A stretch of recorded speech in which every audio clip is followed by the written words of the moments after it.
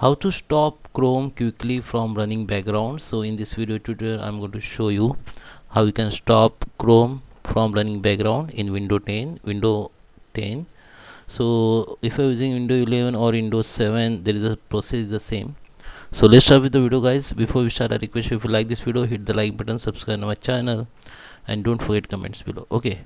So if you want to stop the chrome running background quickly you can simply right click on this section and go to the task manager.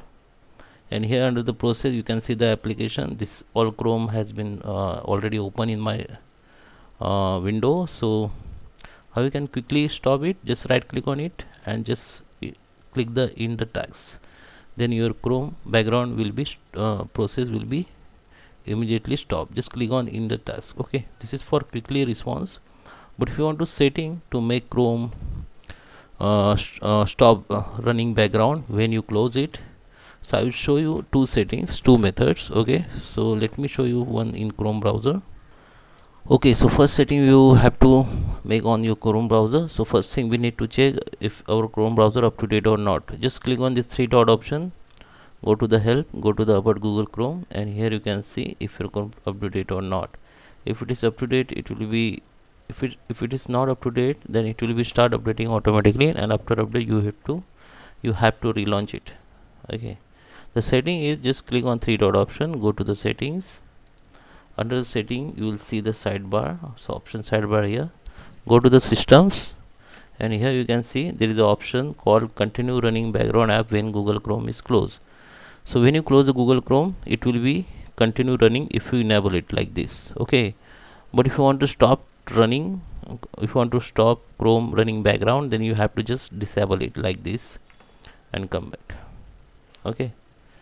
And the second options sorry next method is if you are using, using the window 10 just come to the search bar and go to system configurations. And this is your system configurations okay? So you can untick these load startup items okay just untick it. And now go to the service and just hide the all Microsoft service. When you click hide the all Microsoft service you will see the all service which you know uh, running backgrounds. Okay so you can see there is a two service has been running right now in my window and this all service has been stopped. But if there is a service like Google Chrome or Google you can stop it. Just tick it you can disable all okay?